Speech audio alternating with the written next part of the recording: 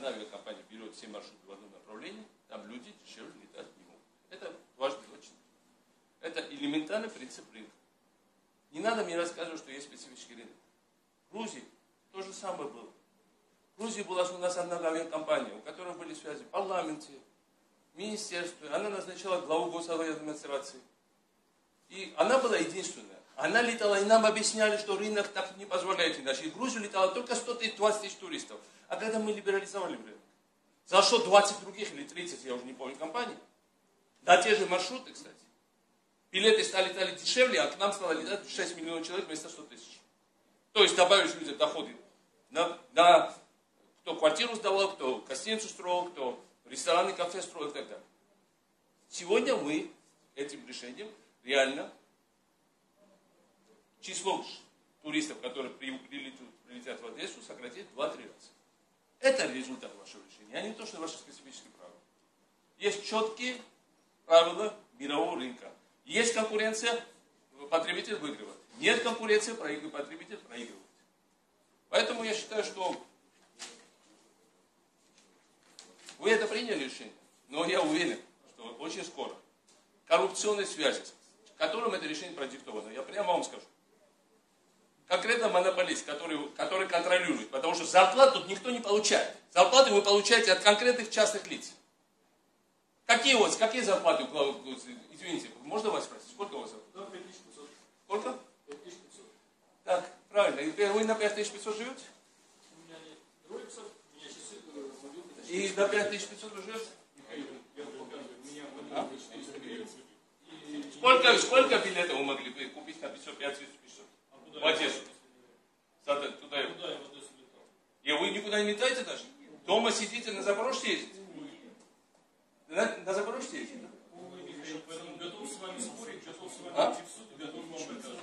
Тогда вот таким, как вы, которого ничего нет, надо помочь и понижать цены, чтобы вы с голоду не умерли, чтобы вы отдыхали, чтобы вы с своими детьми могли поехать. Вы живете на зарплату.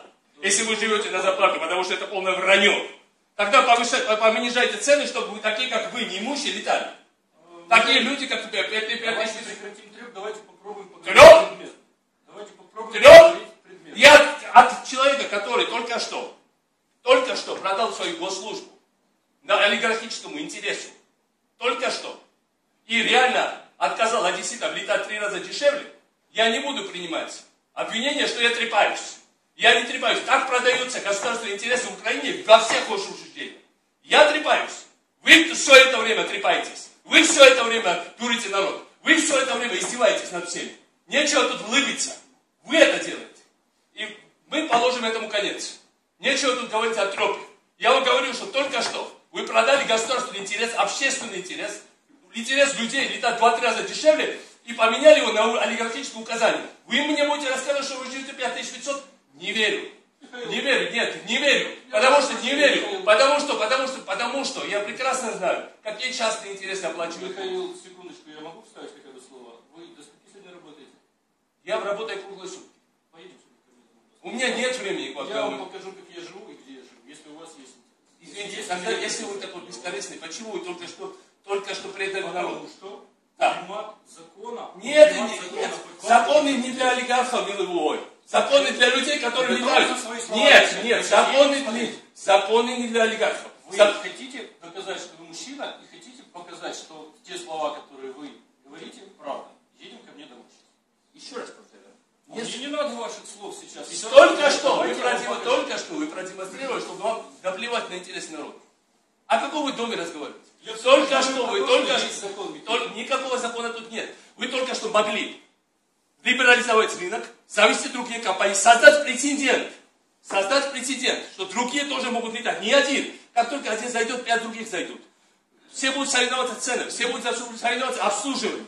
Я летаю на МАУ, я знаю, что как там обслуживают. Там нет обслуживания, это максимум 100 долларов должно летать. Только что вы создали прецедент, что вы закрыли всем остальным дорогу, то есть перекрыли кислород пассажирам. И мне будете рассказывать про свои эти.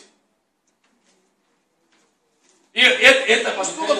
Сейчас, я, сейчас, сейчас, я думаю, я честно говорю, думаю, что вашу комиссию, честно говорю, вот эту комиссию, тех людей, честно, если бы я был, если бы я решал, но я думаю, что народ это, эту комиссию просто надо распустить. Я сейчас пойду к министру, буду ставить этот вопрос, у нас будет пресс-конференция. Мне нечего с вами спорить, с вами все ясно. Все, все связано. С самого, с самого начала, с самого начала это ясно было, что эта комедия вот так будет сушена, так все функционирует в Украине. Все заранее продано, все заранее схвачено. Сейчас я буду разбираться с министром, не будет он разбираться. Буду разбираться вместе с народом людей, которых это волнует. Вот и все. До свидания.